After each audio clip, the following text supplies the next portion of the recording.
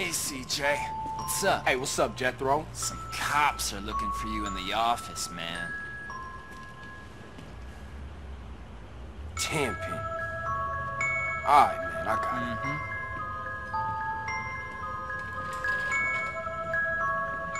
Mm-hmm. Nice to see y'all kicking back. I wonder how your brother's sleeping. Curled up next to his shower daddy while you lived comfortably on the outside. What y'all want this time? Well, what we want is to get on with our jobs in peace without some damn bleeding heart liberal poking his nose into affairs he won't even understand. The press on the young?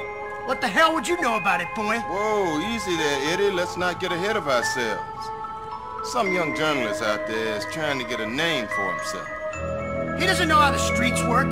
That he's supposed to report what he's supposed to report. Yeah, anyway, we need you to shut him up for us.